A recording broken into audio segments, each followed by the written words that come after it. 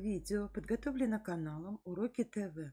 Номер 90. Распределите в две колонки начальные и конечные предложения, взятые из разных сказок. Подберите свои примеры. Какие слова можно часто встретить в начале и в конце сказок? В начале сказок мы встречаем такие предложения. Жил некогда в горах могучий лев. Четвертое предложение сюда же подходит. В некотором царстве, в некотором государстве жил-был царь. У этого царя было три сына.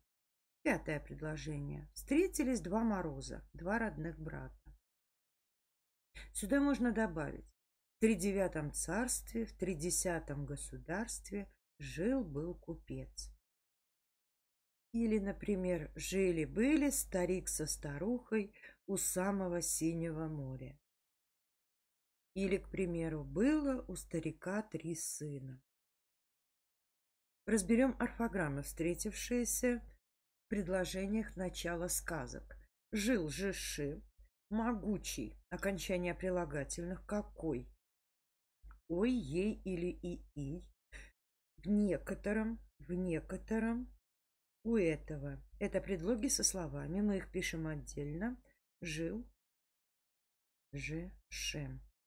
Теперь подберем примеры, когда мы встречаем в конце сказок.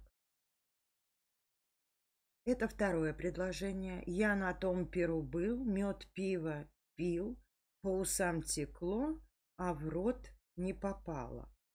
Третье предложение. И стали все вместе жить-поживать, да добра наживать.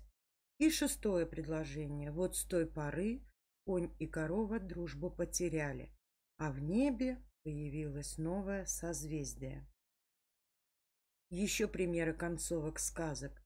Было то давно-давно, а может еще и никогда того не было. Не мудрено и забыть. Вот и сказочки конец, а кто слушал, молодец.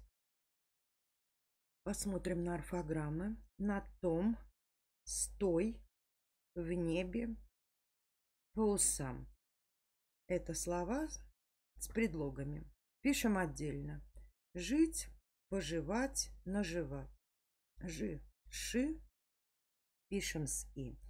Понравилось видео? Ставь лайк. Подписывайся на наш канал. Есть предложения или пожелания? Оставляй в комментариях. Со всеми прощаюсь. До следующего видео.